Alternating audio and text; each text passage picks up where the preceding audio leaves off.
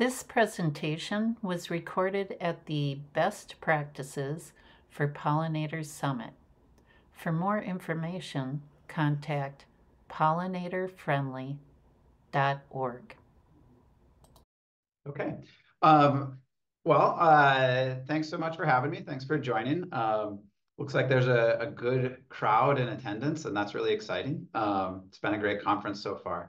Uh, my name's Evan Larson. Uh, I'm a professor uh, at the University of Wisconsin in Platteville. I'm chair of our uh, Department of Environmental Sciences and Society. And um, I'm really uh, excited and pleased to be here, um, honored and humbled in all of these things to talk about fire. And this has been something that's been uh, really important uh, guide to a lot of the work that I've done over the last years. Um, it has led to some incredible collaborations and some just amazing learning opportunities.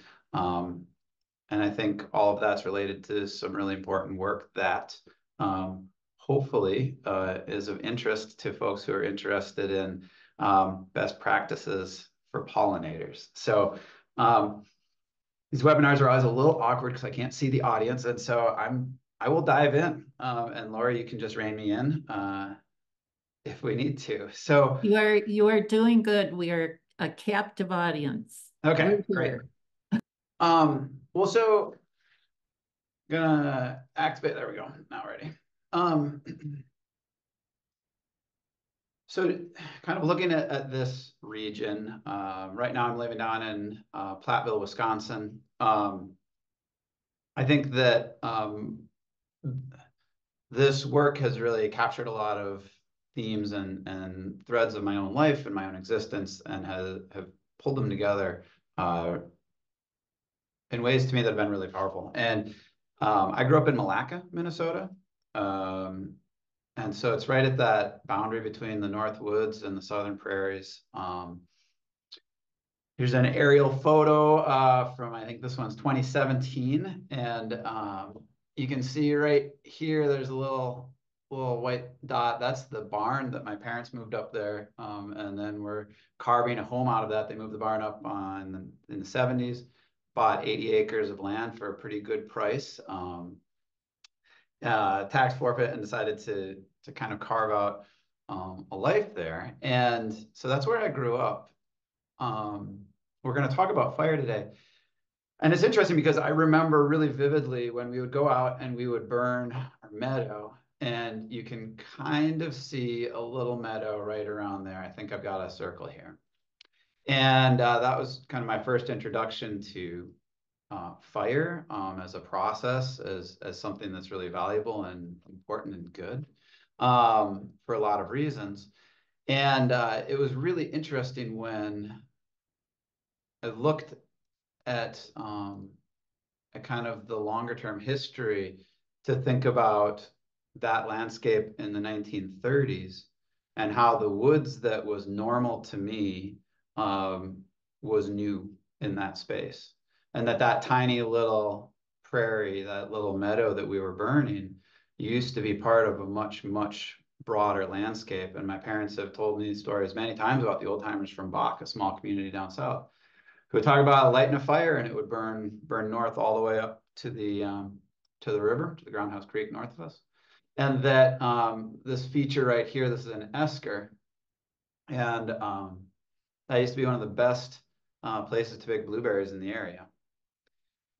And then what was even more interesting, so right here in the middle of that esker, you see a black dot.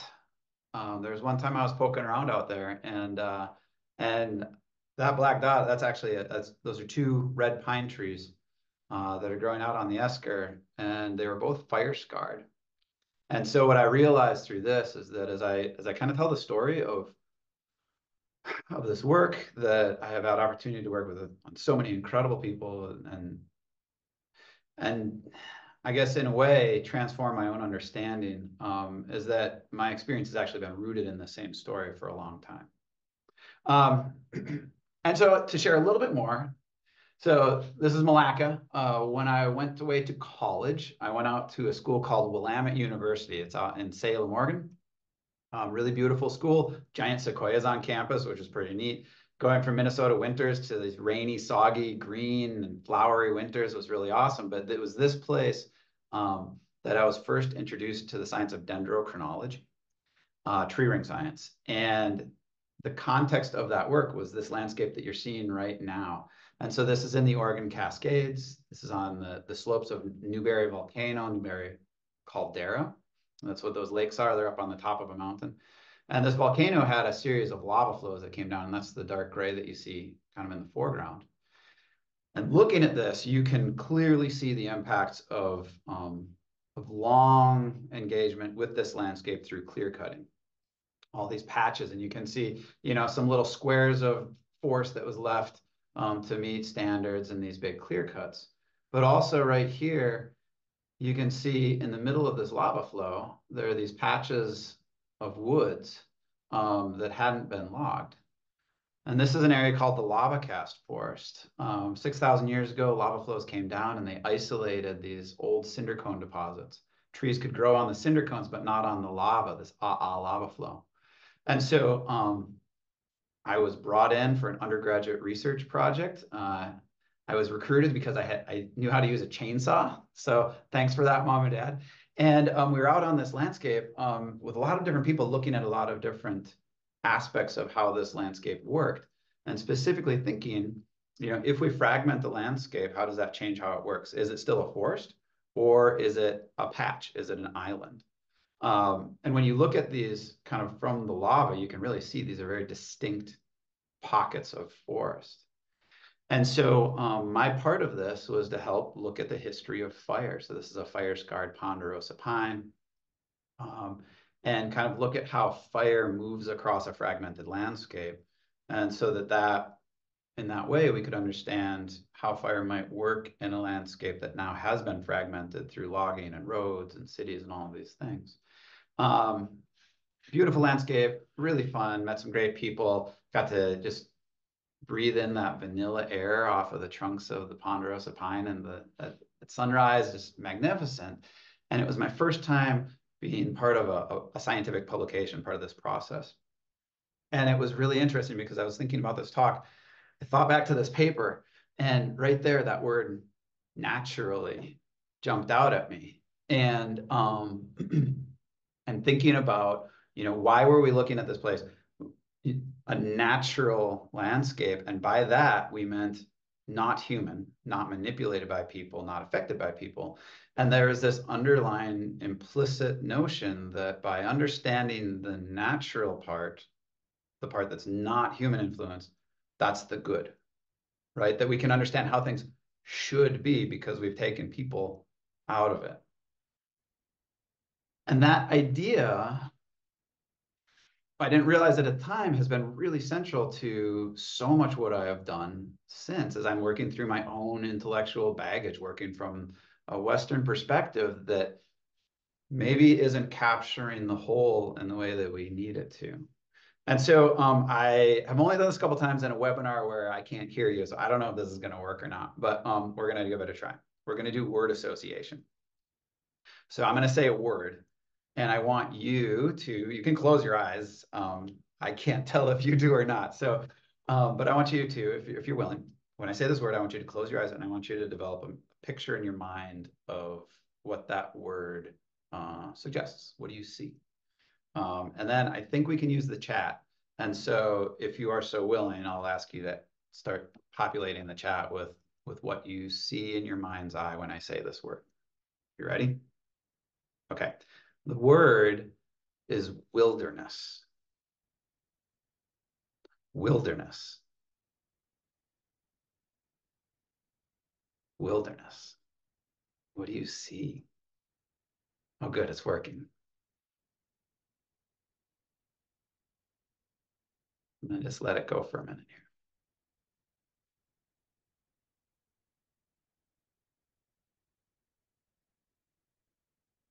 here. Hmm. Oh, uh, Mary Penn already offered up what I was hoping. So I'll start just reading off some of these. So free trees, green quiet, bears, forested mountains. I'll I'll I'll click on that one.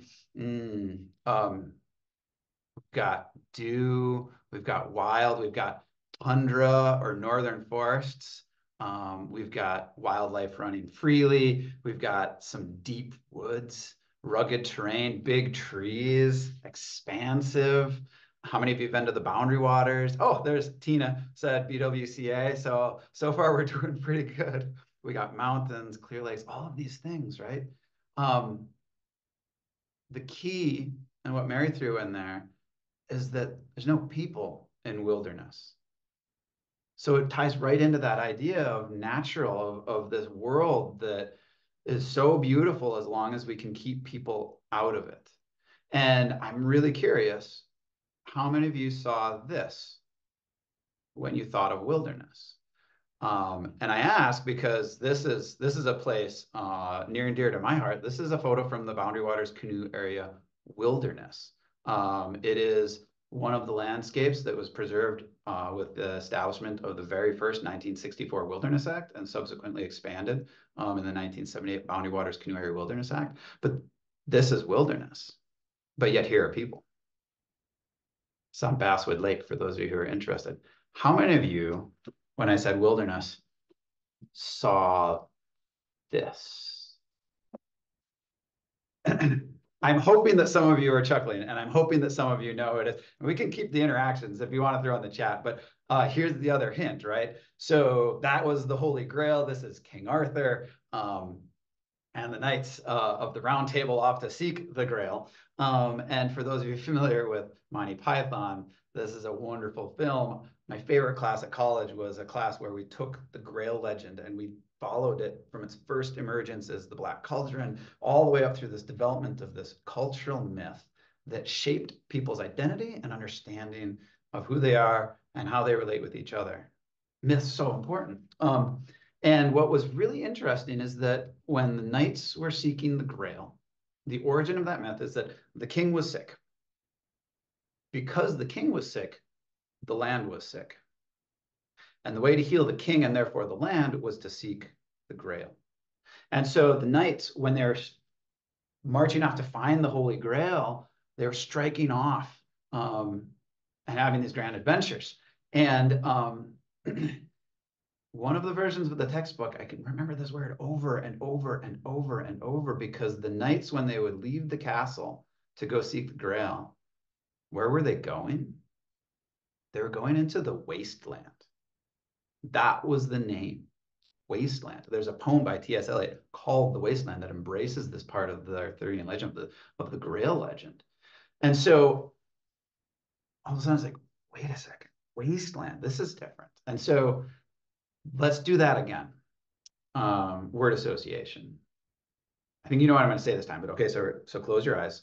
And now I'm going to say wasteland. And I want to know what you see now. Desert War, Mad Max, No Reese's, Brownfield. Oh, okay. So I'm just going to go ahead and put this up here because I'm pretty sure that we're capturing almost everything you're saying, right? And I like this because it's it's it's it's it's a little more um, abstract, right? And so you know, wasteland, these this horrible horrible place that's full of death and decay, but not the good kind, right? And and so what shocked me all of a sudden was to realize that when they said wasteland, they weren't talking about this. They were talking about this. Wasteland at the time of the Grail legend was talking about land that wasn't cultivated. It wasn't being used. It was wild. It was untamed. It was going to waste. And all of a sudden, this just opens up this incredible flow of thoughts. Um, and I felt like uh, just a little while ago, it was, it was really beautifully captured in this book, um, The Invention of Nature by, uh, by Andrea uh, Wulf. Amazing book. Alexander von Humboldt, this Prussian royalty or, or, or, noble, and he traveled the world in the in the 1800s, and he he was one of the first people in Western science to write beautiful passionate prose describing the, the environment. And he talked about um, he talked about climate change, how cutting down the forest was changing local climates. He talked about conservation. He talked about just the amazing world that was all around us. And, and for all the good that that did, what it also did was start to separate people from nature.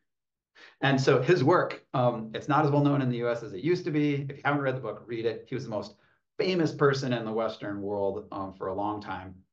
He uh, inspired the Romantic era of painting. Um, you know, Thomas Cole, the, this uh, sequence of empire, right? So again, like this wilderness showing this beautiful landscape, putting people as either minor or non-existence to exemplify the beauty of the world. Um, people like Charles Darwin were inspired by Alexander von Humboldt, carried his work all around. Um, John Muir uh, read Humboldt extensively. Um, Humboldt wrote Cosmos, which has then been transformed into the TV series. Um, Henry David Thoreau, also a huge fan of Humboldt.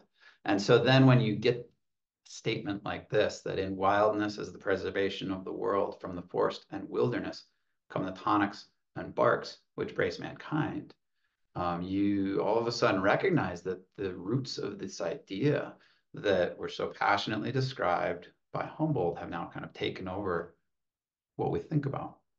And you take that notion of wilderness as empty, unpeopled, as good, as beautiful, and you apply it to something like manifest destiny. And all of a sudden, the, the problem of that idea becomes very evident.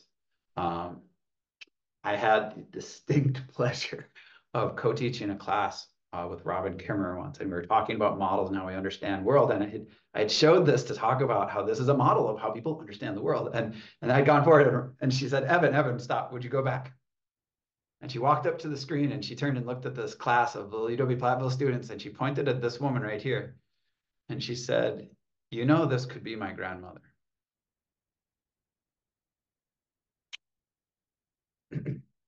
That's pretty heavy.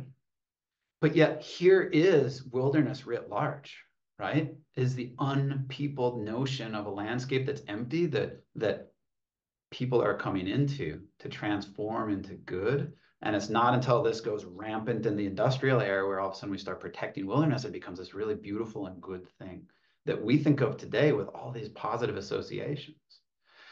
Um, and so to think about wilderness the Boundary Waters is an amazing place to do this. It's quiet, it's empty, there's pines, there's fresh water, all of these things that you talked about.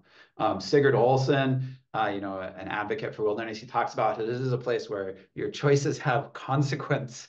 And so don't paddle into the thunderstorm. That's a choice. And you will, you will um, experience the results of your, of your choices, right? And that's why we go to these places to see these beautiful settings and to live in this really primal and rugged way. And so it makes sense when you're in this space now, you know, that this is an area where the earth and community of life are untrammeled by man, where man himself is a visitor who does not remain.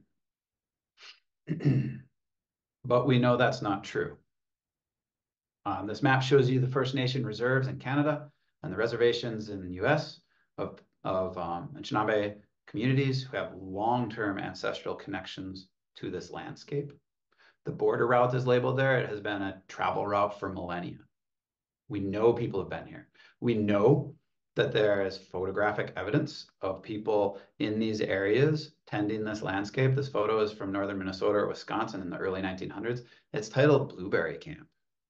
Notice the char on the trunks of this beautiful open pine forest. We know that um, knowledge has been shared with Western researchers up in Canada about Ishkode fire and how um, fire is a is a spirit and agent and a part of these these settings that when present in forests can help cultivate rich blueberry harvests. And for those of you who have been in this space, you also know that those blueberries are a pretty beautiful and wonderful thing. And now think about it as a food source that will get you through the winter. So wilderness, um, and yet here we are, uh, you know, working from this Western mindset where we have these stories, there is this knowledge, it has been shared, and yet we still need to show quantitatively um, whether or not it's true. and so um, this was the root of, of, of work up uh, in the Boundary Waters, um, spanned a decade and some. That's laying up front, Liz Schneider, a grad student at the University of Minnesota at this point, and Ben Mathias, a former student of mine. Striking off into the boundary waters to start thinking about wilderness, to think about people, to think about fire. And if these concepts and ideas um, can help us understand our place and open up opportunities for conversations and different understanding um, in valuable ways. And so we were looking at pine stands that, you know, might look like this from the water. Uh, and you go up and if you find trees like this, what you're looking at are fire scars. And so these are trees that a fire burned by um, and damaged the trees, but it did not kill them.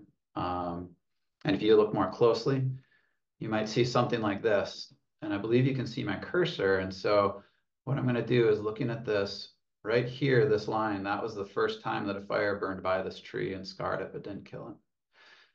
Here's the second.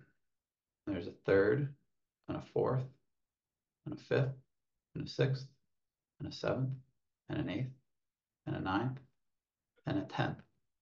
10 fires at least that burned by this tree and scarred it, but didn't kill it. And implicitly, we know then that those fires were not the raging conflagrations that you see on the news or even what we've seen in the boundary waters in recent decades. These were quiet fires. These were low severity fires to scar a tree, but not kill it. Uh, because it's wilderness, we were not sampling any living trees, um, but when we found stumps like this, um, hand tools, because it's wilderness, um, you can open them up this has been a tree that's been dead for, for decades. and then looking at how the resin that's produced by red pine trees has infused that scar face um, so that the wood is still totally solid and you sand it up and you polish it. And all of a sudden through this through the techniques of cross dating and dendrochronology, looking for that marker ring in 18 04, the false ring in 1821, that false latewood boundary in 1747, the dark latewood in 1752, false rings in 1863 or 4 or 5. You can start to piece together exactly when this tree was growing, even though it's been dead for quite a while. Um, from that, we now know that this tree growing on an island, uh, a small island in giant Lake Saganaga, has the innermost ring of 1679 uh, it has an outer ring of 18 or 1989, and that each of these curling lobes is when a fire burned by this tree, scarred it, but didn't kill it. So we know that in the year 1702, 1718, 1743, 1758, 1770, 1780, 1795, 1823, 1842, and then 1850 are years that fires burned by this tree, at which point the fires stopped. Knowing that this is wilderness, that must mean that lightning has stopped striking this island. And I used to say that and laugh, but then I also realized that this island is within the 1854 ceded territory. And that's significant. We also encountered trees that looked like this. Um, this is a culturally modified tree. So the bark was taken off. I always used to think it was Boy Scouts. Both Lane and Ben were Eagle Scouts. So I'd always make fun. I was like, oh, it's Boy Scouts hacking on trees. Um, and then we realized like, well, actually these are older than we think. You can see the tool marks at the bottom and top of the bark. You can see where the bark was peeled off. You can see tool marks that kind of etched it. And you can see that resin piling up along the margins of this tree. And it's interesting because I used to throw a quote up from Frances Densmore, who's a really famous ethnobotanist who was working in this region. She talks about how uh, the people would peel the bark off of trees and then go back to gather that resin and that would be used to make gum that you would then patch or build your birch bark canoes. Yeah, so I used to call on this old book, but then I realized also like, or we could ask Jeff, um, who's a master canoe builder up at Fond du Lac, and he'll tell you the same thing because the stories are still there. The knowledge is alive and very well. Uh, you can see the etchings on the scar faces where people used an awl to gather resin.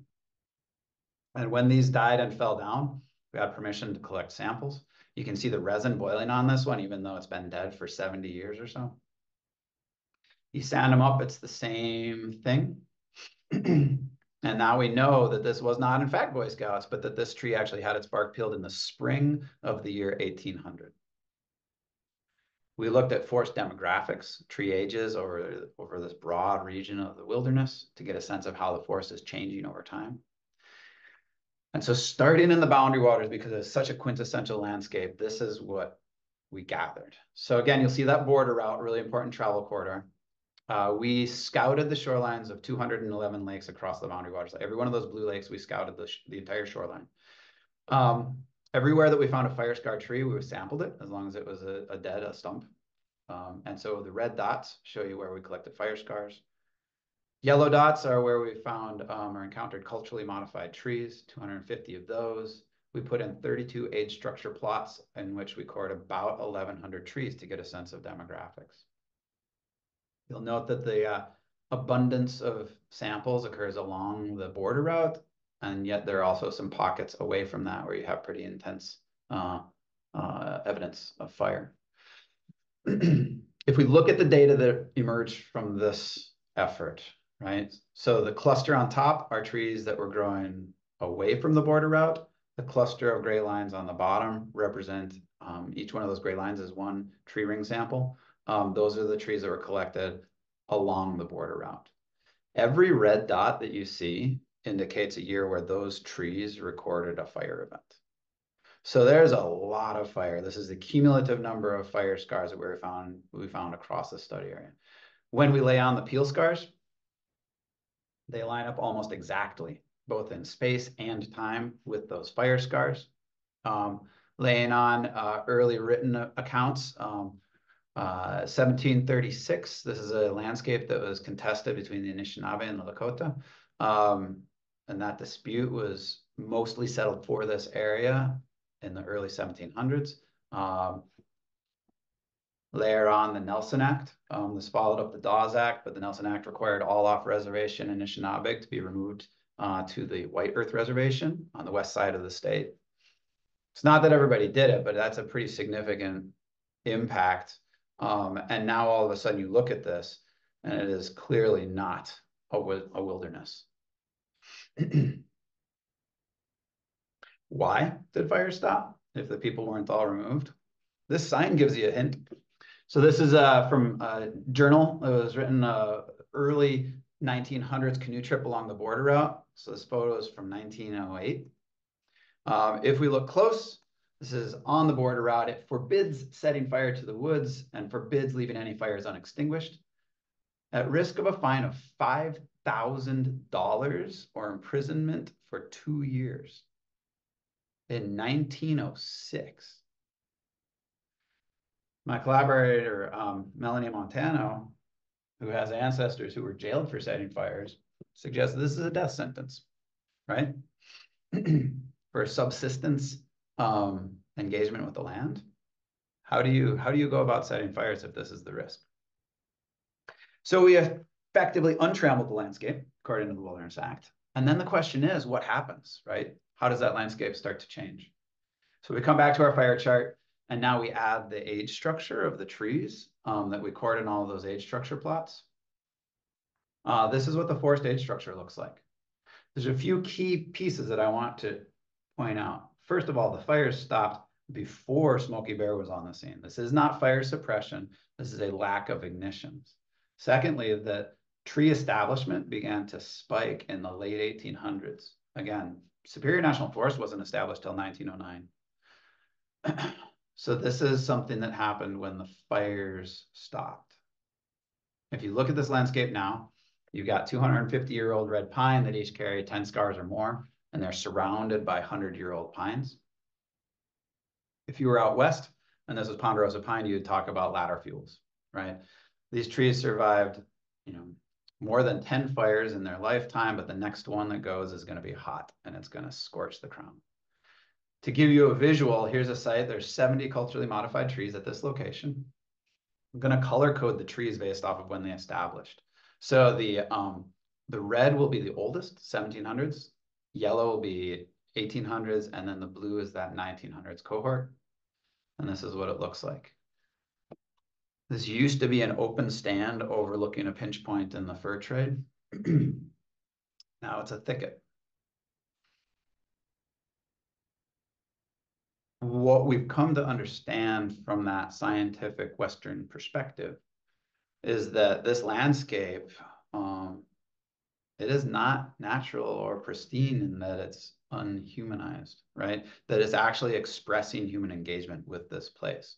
And it's not that people fundamentally shaped the landscape. It's not like there was a black spruce swamp that then, you know, people burned to make it into a red pine forest, but it's more so that they amplified the patterns that were already there. Um, this stand of red pine, when you burn it, it keeps it red pine.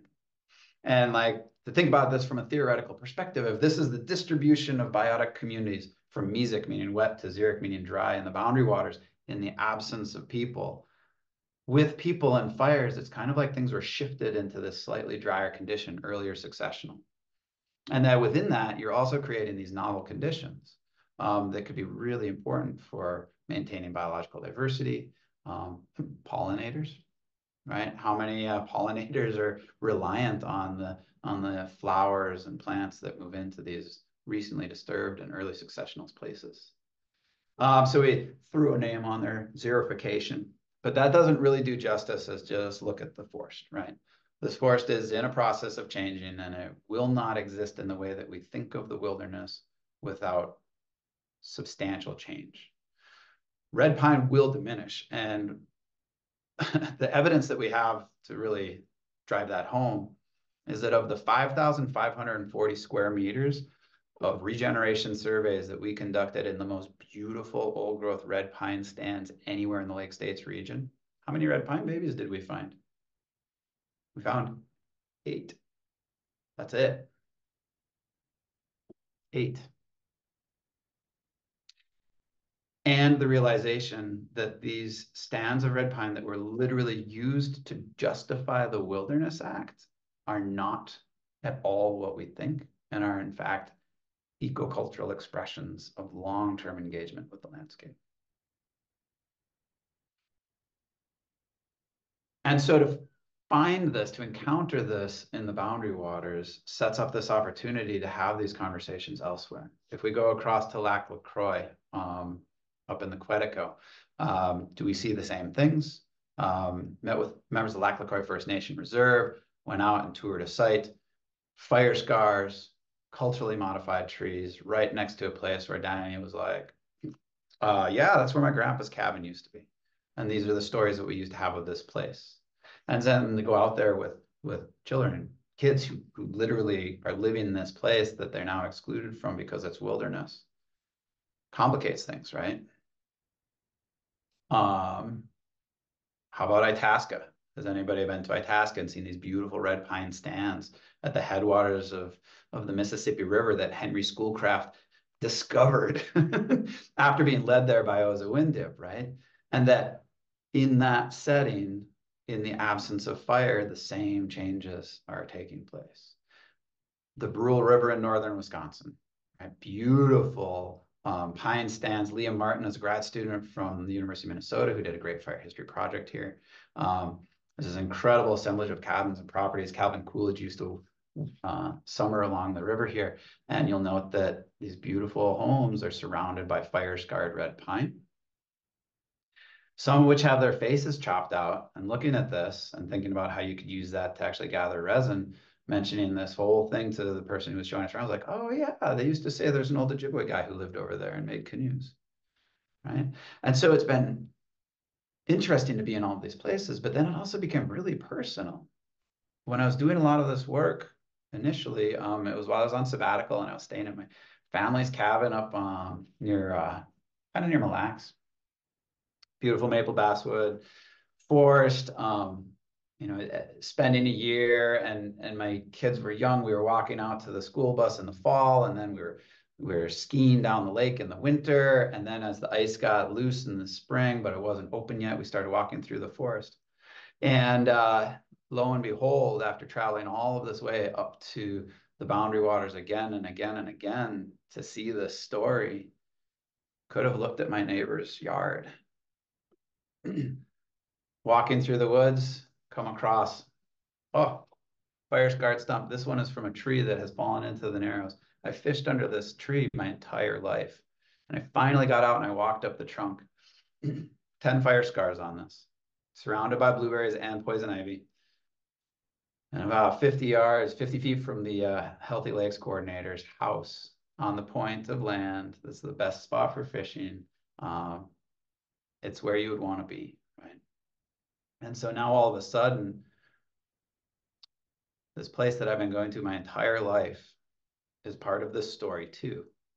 Fires in 1804, 1825, 1835, 1845, 1860, 1865, 1875, 1890, and 1898. That's the year that a resort went in the lake, one lake over. So at my cabin, seeing those last few red pine above this maple canopy means that we're part of that story too.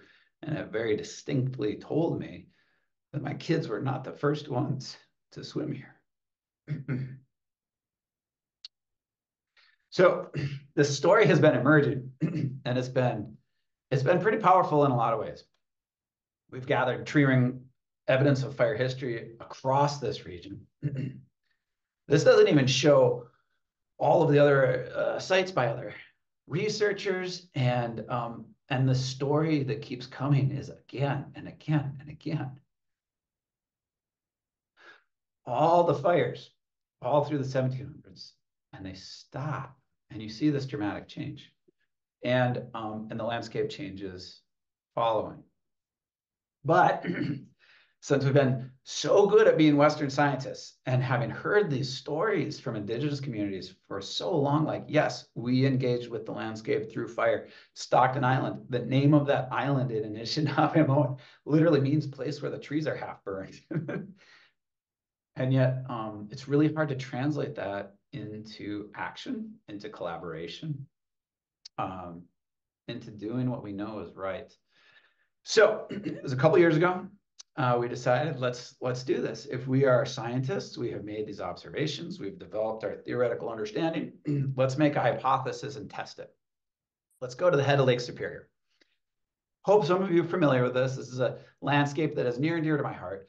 So we're looking here, this awesome satellite image out to the Atlantic Ocean, following the, the Great Lakes all the way up into the Midwest and that, that head of the lake right here. And this space is also really important in a lot of ways. And so um, what we're looking at now is a, a story that was shared in a book, the Mishomis book. This is not the only version of the story, but it is a version talking about the movement of the Anishinaabe people from uh, the Atlantic Ocean along the Great Lakes. The, the arrows are showing, going, showing kind of like the movement of people along with seven stopping places um, that are really important uh, for a whole bunch of reasons. And so that head of the lake at Lake Superior, we are looking at like a mile from Spirit Island, which is up in the St. Louis River estuary. if you're up on the hill in Duluth and you're looking out and you see this long sandbar, it's the longest freshwater bay mouth sand spit in the world. Depends who you ask. Um, this is a it's a beautiful place. There's Canal Park. You can go get your airbrush t-shirts and your expensive food, um, as well as really good smoked fish. Um, there's a, the Park Point Community Club. Um, so people have been living out there uh, for a long time, really connected to that space. There's the Minnesota Point Pine Forest Science and Natural Area that's managed by the Minnesota DNR. The Army Corps of Engineer has land. On the far side, Wisconsin Point is mostly owned by the city of Superior, um, though they recently transferred some of the land that included a burial ground for the, uh, or cemetery for the, uh, the Fond du Lac Band of Lake Superior Chippewa back to the band. Um, so it's this beautiful landscape. It also is steeped in story. Um, this was one of the most important gathering places for a number of the tribes in this area. Um, and they would get there and they would pick blueberries. It was a really uh, essential in that role and that identity um, for a lot of communities. And so we've got a natural area that is connected through oral history with blueberries. We know there's pines because it's pine forest day natural area. So do we see the same thing? If we go out and ask the same questions, will we see the same result? Um, it was a couple years ago now, depths of the pandemic, right? And the Wisconsin Sea Grant Program sends out a call and in it, they are very interested in a project that targets justice, equity, diversity, and inclusion for underrepresented coastal communities. Um, we ended up going through a process, gathering a whole bunch of folks together uh, from the band, from the city of Duluth, city of Superior, the um, uh, Lake Superior National Estuary and Research Reserve, um, a whole bunch of folks to talk about if this is a place that we can do this work and can we do it well.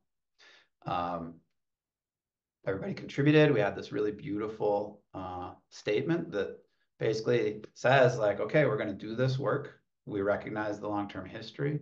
Um, and we're gonna see what it tells us, and we're gonna accept these results with open mind and heart to guide what we do next. And then it came down to the crew. um, Emily, Val, Ashla, and Mocha, these are students at Fond du Lac Tribal and Community College who took a chance on us and opted in to uh, serve as research assistants to this project. Um, this was mostly done over the past year. It was awesome. We head out onto the points. We're kicking around. We're looking for fire scarred stumps. Mocha does a fantastic job of explaining the kick test. How to tell if it's solid or not? um, it's wilderness, so we use hand tools mostly. We got to use chainsaw a little bit, um, but we go in and find these stumps and we start collecting to see what we find. Um, we found quite a few, found a lot of poison ivy, very few blueberries. Um, on Wisconsin Point, this is a place where there's, well, both points, there's a lot of history. Um, uh, Chief Osaugie was a signatory on the 1854 treaty who had a house out on Wisconsin Point. He was a master canoe builder. Um, and so when we found a stump that looked like this, it's solid and we cut it. And we realized that what we're looking at is the bottom edge of a peel scar and Val says, "Holy, this could have been made by uh, Osaugie. Like I could literally be holding a scar from my ancestor in my hands that's telling us the story of this place. Inventoried some of the big old trees, collected tree ring samples to, to do this process of cross dating. it was an awesome year. Um, I miss it already. We're, we're moving on and, and, and it continues to grow and it's, it's been great. Um, these students are amazing. We set up a lab at the estuarium. Thank you, Deanna Erickson and the whole crew. They were incredibly generous. Um, we took our samples into the lab so it could dry. Uh, the Duluth Makerspace gave us a deal on using their equipment, which was awesome. The community that came around this project was just really amazing. The students got to sand and look at stuff. And then we went set up a lab at the estuarium to do the science of dendrochronology, right? So what does it tell us? That's the fire side. Um, and it was so amazing once we started looking at these under the microscope, because you talk about braiding knowledges. Here's an image of a fire scar tip. And so you could say this is the direction of the tree growth. This is the start of the 1804 growing season. This is the fire scar. This is the end of the growing season. And I would say, oh, that's a late season fire event. Bellman, they're like, nah, a blueberry burn you could see the resin that's piling up behind some of these injuries. I'd be like, ah, this is excluding water to preserve the, the structural integrity of this tree. And they say, no, that's canoes. it's not a pith. It's when the creator shook the rattle and it's the beginning of the universe. it's not radial files of cells, it's beadwork. It's beautiful. Um, in addition to looking at the fire scars, we gathered some cores from the DNR. They very generously let us analyze some uh, collections that were made uh, and a couple earlier studies. Got together with the Gada camp of uh, K-12 science students from uh, from Fond du Lac, and they got to become dendrochronologists, look at data, make graphs, do all that stuff. And so this is the collective of what we found. Red are fire scars. Um, yellow triangles are locations of culturally modified trees. Um, SNA boundaries. Uh, this is Minnesota Point on the left, Wisconsin Point on the right. What do we find? So here's where it goes. Ooh, drum roll, please. So these are the extent of the tree ring samples that we collected. Onagumming is Minnesota Point, Jagawamakong Neashi is Wisconsin Point. This is everywhere that those trees recorded fire events. This is a cumulative fire count. These are the peel scars. These are the treaties, 1842 ceded Wisconsin Point, 1854 included the lands on Minnesota Point. The critical part here is that fires stopped here earlier than anywhere else that I have worked. And it was the most immediate point of contact and directly impacted by these treaties. Here's the tree establishment. Immediately after the fire stopped, you get a, a pulse of regeneration only been one red pine that's established in the last hundred years. The circles are hardwoods that are moving in. There's survey notes from the early 1800s that indicate there were no hardwoods at all on the points. We are now in a phase of transition. This is the age structure. Ironically, we also looked at the document that governs some of the management and the establishment of this SNA. One of the Gadask students read this at a public presentation that we gave, and, uh, and I quote, the uneven age nature of the red pine component of the stand, probably due to its presence on sand dunes, is unusual for a species that usually regenerates for a short time following fire. The fact that the stand is uneven aged suggests the stand will require little management to maintain the pine components of the stand well into the future. Equally important is the fact that much of the pine stand has maintained its ecological integrity in spite of a long history of human disturbance. She read these words and I said, is that what you found? And she looked at me and said, no. It's wrong, it's wrong, it's wrong. And not only wrong, it's not in spite of. This land maintains ecological integrity because of a long history of human disturbance, those fires. Photo that Lane encountered uh, up at the Trigg Family Museum in Ely. This indicates the world's largest log raft in the St. Louis estuary. You can see logs piled higher than buildings. Um, you also just so happened to capture the stand structure of Minnesota Point. It's a fire maintained woodland. The reason the blueberries were there is because it was open and it was maintained by fire. This is what it looks like now. This is what it looks like now. It's the same story again and again and again.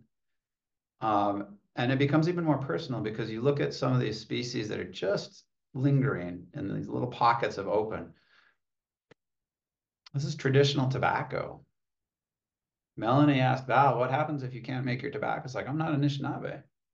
So it's not just the pines that aren't regenerated. It's not just the blueberries that are now kind of withering in the shade of poison ivy it's this whole system associated with with that condition.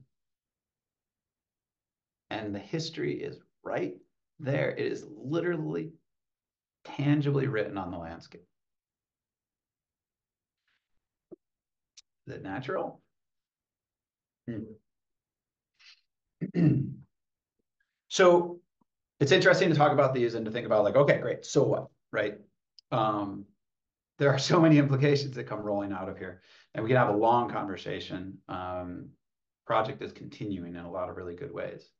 I want to emphasize some of the ways that the so what really, uh, I think, is pretty powerful and pretty fantastic. So this is the location of the University of Minnesota Cloquet Forestry Center. And it was a few years back. That's the boundary of the Forestry Center. Um, and importantly, it is within the boundaries of the Fond du Lac Band of Lake Superior Chippewa Reservation, Nagaji Um, it was largely established through land seizures through allotment. Uh, we can talk about that for a long time. What's interesting is on the left is a historical photo of what's known as Camp 8, 1920. On the right was a similar photo taken in 2015. So again, the story happens again and again and again. Um, was a few years back, went up there with a class of students from uh, UW Platteville, and we developed a fire history. Um, again, these beautiful big red pines surrounded by ladder fuels. Uh, this is the boundary again. These are all the locations that we collected a fire scar sample. Um, I'm going to shift over to the GLO maps from the 1840s. Uh, 1853 might be this one. And you may note that it's listed as pine barrens. And right over here, you have an old Indian village. Um, here's the fire history. Gray lines, tree ring samples, red are fire events. Fire, fire, fire, fire, fire. Forest was established in 1909 and the fires stopped. We had these data and we went up and we met with Jeff and I didn't want to overspeak. And I said, Jeff, I think what a, my interpretation is that we are seeing an indigenous fire uh, stewardship a relationship with this landscape moderated through fire that was disrupted. He looked at me and he said, You're just telling me what I already know. I appreciate your Western science. this is not news. Reinforcing again that in the case of fire, Western science is very much catching up with indigenous knowledge in a lot of ways. Um, the beautiful piece from this is that that conversation has helped lead to action. Um, it was a couple of years ago now uh, collaborative uh, effort led by Fond du Lac, um, joined by the University of Minnesota, uh, band members from Leech Lake, Grand Portage, Mille Lacs, got together through a lot of effort, thinned the forest, and got fire back on the ground for the first time in decades. Um, and the largest burn that had been done in the history of the Cloquet Forestry Center. the outcome of this resonates with the name of the project that we had funded by uh, the Sea Grant program, Nimwanjiitaman Giwatashkirang, which roughly translates to we're all gathering around the fire. And it was that process of engaging around fire that that finally let people move past some of these really significant cultural barriers that are in place from long-term distrust, long-term disrespect, ignorance, abuse. Um, and it created a space to gather and do something that's really, really good. Um, this is a great sequence that Lane uh, captured right after the burn, June 13th. So a month later, September. It's beautiful transition. Importantly, this work around fire has also contributed to an effort right now that is happening where um, the University of Minnesota is it is releasing its claim to this land so that the band can reclaim it. And there again, fire has helped this process forward. so pollinators, right? you look at a place like this and you think, is this natural? Is there a role for people? Um, I assume that probably almost everyone of you read this book. And in it, Robin talks about sweetgrass as this beautiful example. There's all these layered metaphors of weaving knowledges, weaving relationships, but also that really important lesson that if if people ignore our relationships to the land, ignore our relationships with these other beings, like they will go away. Sweetgrass is an example. If you don't harvest or you harvest too much, it's gone. But if you get in relation with that plant, it will persist and thrive. Is it not the same with red pine? Are the fires set by the people that have been now carried in the bodies of these trees through time to lead to our lessons now that are finally moving this conversation forward, not examples of reciprocity? And again, it's not just the pine, it's all of the other species that need that fire to be in that space. And so we come back to this, and this was one of these things where I was like, huh, hadn't thought about that. So let's give it a try. So back to this migration story. I'm going to overlay a layer. This red blob of polygon. I'm curious if anybody has a sense of what that might be. Because we're online and I can't just ask, I will let you know that is the range of Bapakwanagamack. That's red pine. Look at the arrows, look at the pine, it's the same. There's been a long-term relationship. Not saying that pine is there because of the people, but I am saying that the people in the pine are in relationship, that this is important. so, my challenge to you is if you think of the list of ways that people impact the land, right? And we could do the thought experiment. We don't have time, but you know, I would guess if I asked you, what are impacts that humans have? You would say pollution, climate change, species extinction, like land use change, water, all of these things that we think about that people do that we think of as bad. Is there space to recognize that people are a part of this system and that our impacts can be good?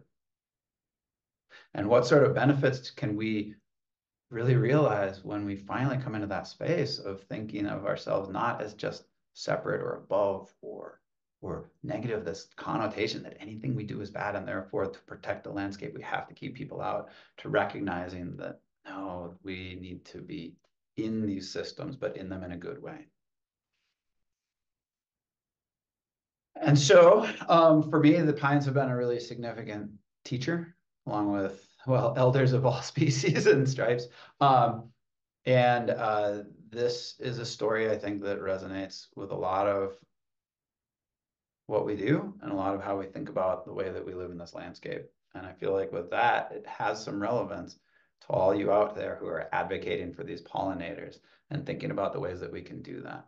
Um, so next time you hear wilderness, I would love for you to envision a trail crew walking side by side with elders and the elders are pointing and saying like, burn that, burn that, burn that.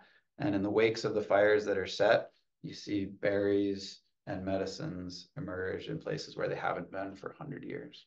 So that is what I have to share. Um, if you want to get some podcasts and other materials, you can click on that QR code. Um, but uh, otherwise, Lori, I think we've got a couple minutes for Q&A if we want to do that. Awesome. Thank you. So my email's burning up with people who are you're bringing to tears with the stories. Um, so stories and observation from the past are so important to conservation work. It, it seems like you found a way to use research and stories together. Um, do you think your work has influenced protections for the natural world or change policy? Have you seen that happen? Um, I, that's a great question. And a lot of the changes that you might want to see take a lot of time. Um, what I think is like a, a evidence that things are moving in a way that is really good. Um, so the Sea Grant project, we conducted most of that work last year. I was on sabbatical and uh, the city of Superior, as far as I understand it, is in the advanced stages of planning a collaborative effort with Fond du Lac, Band of Lake Superior, Chippewa to return fire to Wisconsin Point.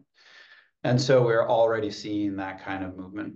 Um, we also uh, have a new grant from the National Science Foundation that's going to be hosting a series of listening sessions across the upper Great Lakes to kind of reach out and engage with additional communities to expand the conversation out. Um, and just in the conversations leading up to that project, it's been amazing at how um, people from all different backgrounds are really leaning into the conversation.